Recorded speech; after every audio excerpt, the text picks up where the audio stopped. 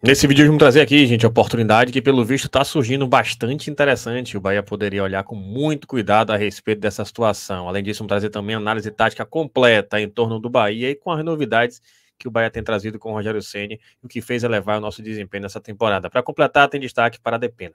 Isso e muito mais em mais um vídeo aqui do canal Bora Bahia. Vem com a gente.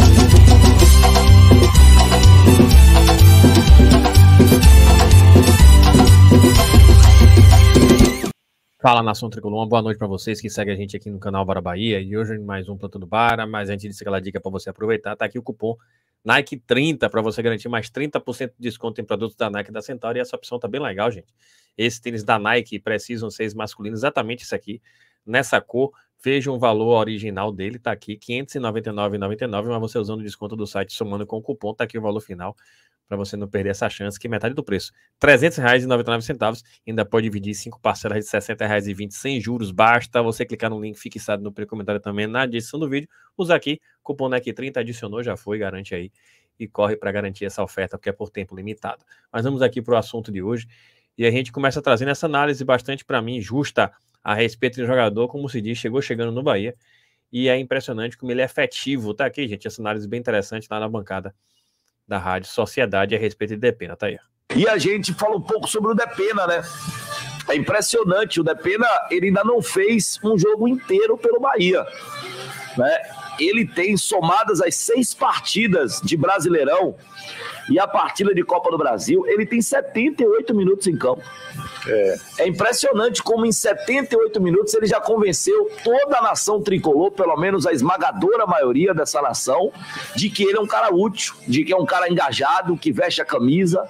É, foram poucos atos do Depena em campo. E o melhor de todos. Ah, aquela enfiada pro ratão, né? Ficou na história. Né? Só que, veja aí, ali foi a cereja do bolo. Esse lançamento pro ratão ele já é praticamente o ato final, né? É, é, tá muito recente. E, e, antes disso, o Depena já tinha ganho ali a confiança de boa parte da nação tricolor. Eu me surpreendi, Valência. Normalmente, quando vocês trazem informações sobre os atletas, eu vou lá para os números, né? Onde eu consigo acessar ali para ter uma noção do que, que o cara já contribuiu, do que, que ele pode contribuir. E me surpreendi. O Depena, somados minutos, né? Ele ainda não tem uma partida inteira pelo Bahia. 78 minutos, uma assistência e já conquistou toda a torcida tricolor. Meu caro Fabrício, é verdade, você falou coisa interessante em relação ao Depena, mas Depena chamou atenção, Fabrício, pelo menos para mim e para algumas pessoas que converso, por suas atitudes durante os jogos. Engajamento já com a camisa, com a torcida. Não só isso, e também na parte organizacional. Porque o Bahia sofria muito para segurar os jogos. E o Depena veio com a experiência dele, em alguns momentos cavar falta, segurar a bola, chatear o adversário pegar a bola e, e conduzir, indicando para os jogadores, porque é sempre no terço final da partida em que muitos jogadores mais experientes ou mais, mais rodagem no futebol acabam cansando mais. Quando entra o Depena, é meio que é, reoxigenado nesse momento. Então, assim, é um jogador que pega a bola, como eu citei aqui, o jogo contra o Botafogo, ele vai na linha de fundo para poder dominar a bola, para tentar cavar um escanteio, para segurar o jogo. Quando o juiz acaba, ele dá um bicão para frente, vai para poder comemorar com a torcida. Eu acho até que o jogo do Botafogo foi a cereja do bolo por tudo, né? Por esse momento aí no final do jogo, pela enfiada pro ratão. Mas é, eu chamo a atenção também, Valência, que antes disso a torcida já tinha ganho confiança com o futebol do Depena. Alguns jogos na arena que ele entrou, né? Que ele organizou, que ele uhum. conseguiu fazer essa coisa que você disse de controlar o jogo que o Bahia vencia. É o tipo da contratação que é acertada e que ninguém precisa perder posição no jogo. Eu sei que o Depena vai buscar o posicionamento dele nas partidas, mas ele também sabe, e o Rogério percebe isso, e ele falou? a importância dele dentro do grupo. Ele acabou de falar isso, que claro que quer ser titular, mas ele entende as opções do treinador e ele quer fazer parte do grupo, ser importante para o grupo. Exatamente. E é, o que já, e é o que já está acontecendo, exatamente. Valência falou muito bem, né?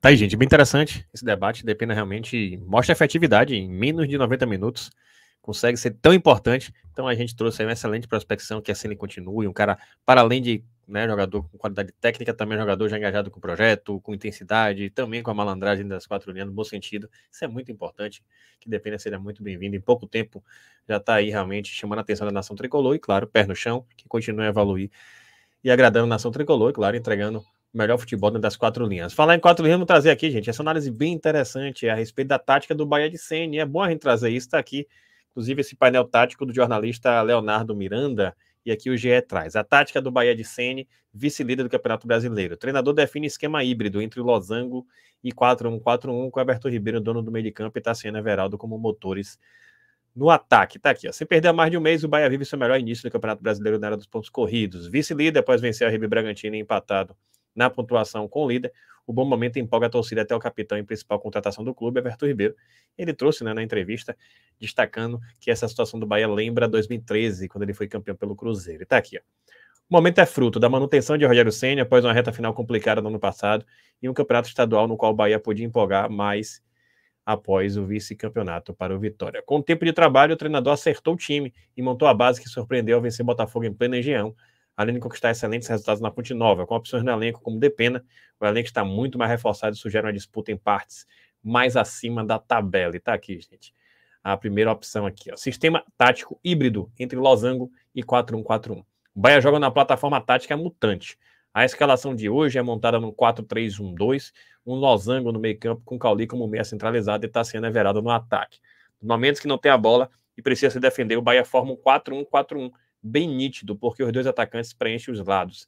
Cauli faz a função de falso 9, fica na frente sem tanta obrigação e depois vira meia de articulação no ataque. Está aqui, inclusive, gente, o desenho, né? Os quatro cima defensivo, que é Alexandre como um. Aí tem aqui Everaldo, Everton Ribeiro, Jean, Lucas e Tassiano, e Cauli aqui na sobra, quando o Bahia não tem a bola. O trabalho que Tassiano Everaldo faz é fundamental para o Bahia tomar poucos gols. Foi apenas um nas últimas três partidas. Dois jogadores retomam retornam até a linha lateral e, se necessário, voltam até mais que os laterais. A ideia de Senna é deixar a defesa bem postada e alinhada com seus quatro jogadores, com o meio fazendo um trabalho de pressão e sufoco, que Alexandre é outro fundamental a fazer a função de primeiro volante.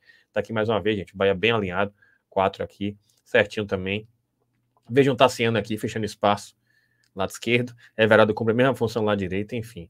Vejam como o Bahia conseguiu se estruturar. Saída curta e importância de Everton Ribeiro. Quando tem a posse, o Bahia faz uma saída curta que começa lá no goleiro e nos zagueiros mais voltados ao próprio campo. Os laterais avançam no campo e tentam prender ao máximo a marcação.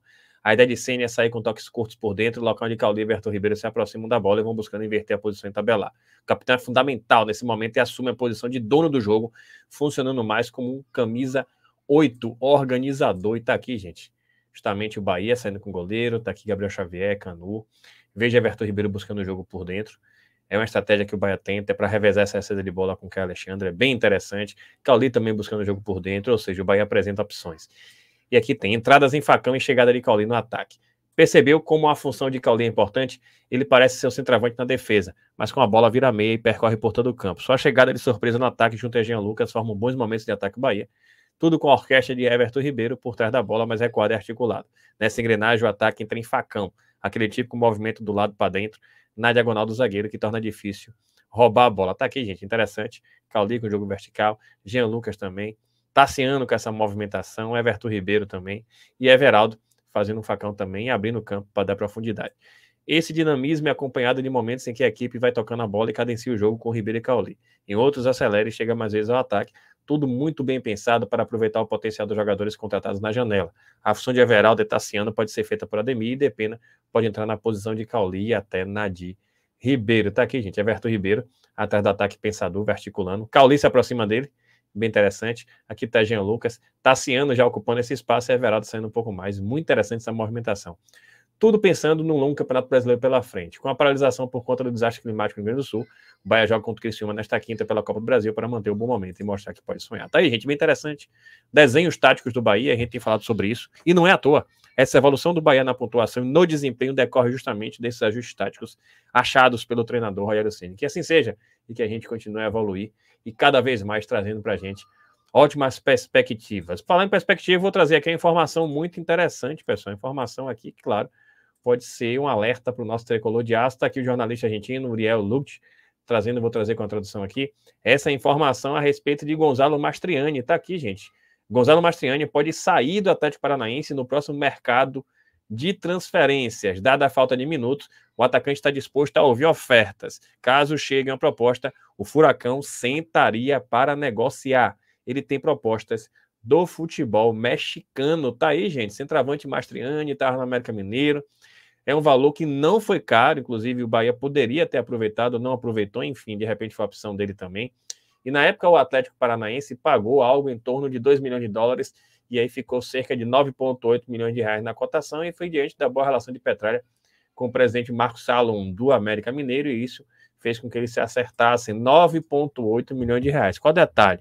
Geralmente Petralha não tem muita paciência com o jogador que tem esse tipo de postura, que não está satisfeito. A verdade é que Pablo é o titular e Cuca vem deixando Mastriani com menos minutagem. Até para nem estar bem. Então, nesse contexto, pelo visto, está aí a informação do jornalista de Alugt, o Atlético Paranaense não se opõe a negociar. Então, nesse detalhe, o Bahia precisa já chegar junto e tentar, pelo menos, cobrir o que o Atlético Paranaense pagou. Ele tem contrato com o Atlético Paranaense, foi contratado pelo Atlético Paranaense com um contrato aí ampliado, e aí vai depender de uma aceitação de Petralha, que costuma negociar e fazer jogo duro, como se diz, mas o jogador insatisfeito no elenco nunca é bom.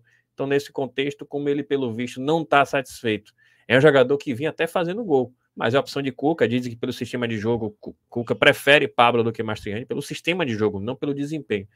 E aí, nesse contexto, Mastriani já mostrou a sua insatisfação, tá aí, informação a respeito. Outras pessoas até confirmaram essa informação, inclusive setorista lá, o Vinícius Furlan, que cobra o Atlético Paranaense, está aqui, gente, inclusive, e é torcedor de lá e traz informações. Ele disse aqui, conforme dito, está aí a notícia para quem tanto duvidou e falou que seria a forma de conturbar o ambiente. Mas Chene quer jogar e vem jogando, mas quer ser titular também, e isso o Cuca ainda não considera. Vamos ver a sequência de jogos pré-janela, mas está aí, gente, inclusive repostando Uriel Luz. Então perceba que há sim, de fato, essa insatisfação. Petralha não gosta de jogador insatisfeito, ele é um diretor, né, um presidente bastante rigoroso quanto a isso, e não se opõe a negociar. Se for um parâmetro de negociação perto do que ele pagou, de repente poderia ser, afinal de contas pagou 9,8 milhões de reais, eu vejo como um jogador bastante interessante para o Bahia trazer nessa janela, mas não pode se esquecer, a gente tem Everaldo, tem Oscar Stupian, tem Ratão também cumprindo essa função, mas Marciani para mim é um jogador que seria muito bem-vindo, tem um futebol de qualidade, vem bem, vem fazendo ótimas temporadas, e se ele não está satisfeito, e se o Atlético não se opõe a negociar, o Bahia tem que realmente puxar essa fila e já aproveitar aí para ver se de repente se reforça na janela de julho agora. Agora, por outro lado, sabe lá se o Atlético Paranaense vai querer reforçar um concorrente direto, nada nada, Bahia e Atlético Paranaense estão aí disputando a liderança. Enfim, acompanhar a cena dos próximos capítulos, mas não custa nada do BA chegar no staff do jogador, oferecer uma boa proposta e o jogador insatisfeito, geralmente, para Petralha não se opõe a negociar o atleta. Assim a gente deseja, de repente pode ser uma grande opção aí para o Bahia aproveitar. É isso, gente. Se você gostou, se é seu like, se inscreva no canal, compartilha com geral, ajuda a gente a chegar a 60 mil, aproveita a promoção da Centauro. Tamo junto, saudações coloridas, até a próxima.